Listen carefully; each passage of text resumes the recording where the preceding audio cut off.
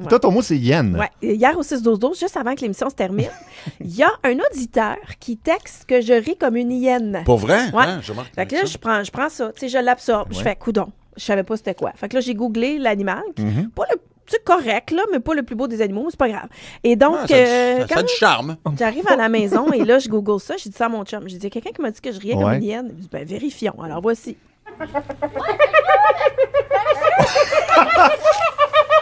OK, ça, c'est une Non, hyène. non, ça, Ça, c'est toi, ça. Non, c'est une hyène. C'est une hyène. Pour vrai? Ça, c'est une hyène. Mais c'est pas méchant, ça rit une hyène. Ça rit certain. Après, après t'avoir tué, parce que c'est vraiment violent, une hyène. C'est- attends, ça, c'est l'hyène, ça, c'est moi. Il y a personne qui t'intéresse. Non. Par contre, si vous l'êtes 6-12-12, on sait Ouais, exactement. Appelez-nous. Bon, ben Les écoute. lignes sont pleines, c'est des compagnies de production.